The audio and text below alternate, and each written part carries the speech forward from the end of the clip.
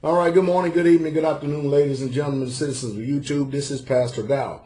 I'm actually uh, coming on here just for a moment because, um, you know, I want to say thank you to all, all the people who support the ministry, uh, who support me in the efforts and causes um, that, that we endeavor to take on here Straitway, especially in helping me get the truth out um, con- concerning the faith.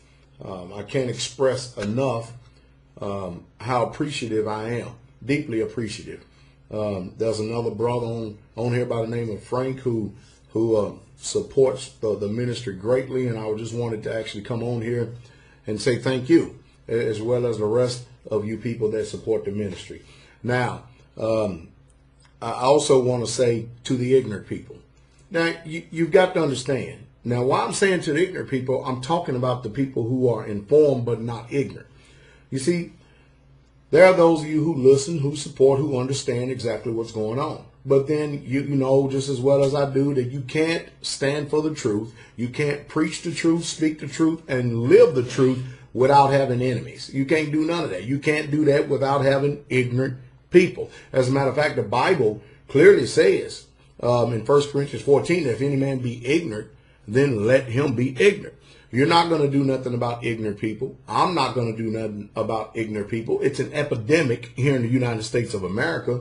And so for the most part, the best thing you can do is ignore them or block them because they really are not adding any strength or truth to the message, to the ministry whatsoever at all. Uh, they're just there to hinder the cause. And you're not going to do anything about these people because, you know, unless I say something that they like, um, they're going to continue to keep attacking. Now, uh, those of you who watch me and listen to me, you know by now that I'm brutally honest. And no matter what truth I'm speaking about, and of course, ignorant people will not go do the research. They will not hear anything um, that I have to say.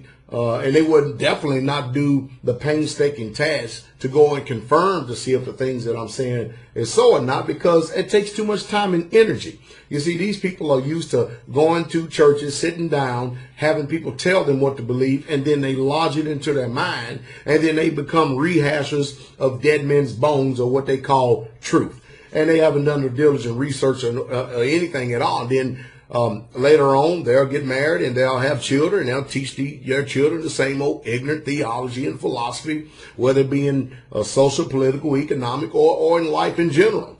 But some of us have exercised self-autonomy. Some of us uh, are dealing with the pain that truth brings. And truth does bring a lot of pain.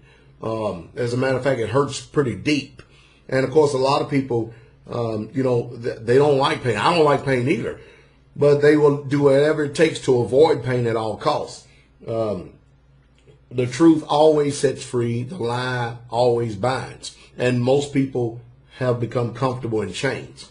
I often say that a slave loves chains has no need or reason whatsoever at all to be free because they're comfortable.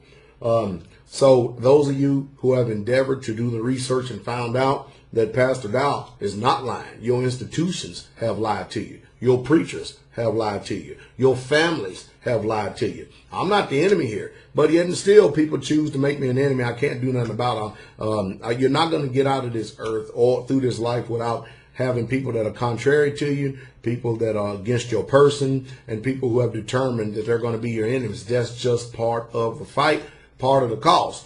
And remember, your worst enemies will be they of your own household. Those of you uh, who are my brothers and sisters, fellow Israelites, who have had your understanding um, woke up by the Most High, I bless each and every last one of you. I bless those of you who are my friends, um, who are helping me to, to do whatever you can to get this message out. I want to say a sincere thank you to each and every last one of you, and I deeply, deeply appreciate it. I hope that someday soon that we can lay eyes on each other uh, and have wonderful fellowship. Be encouraged. Do not worry about people that are against your person or ignorant people. Let them be ignorant. After all, they do have a right to be ignorant.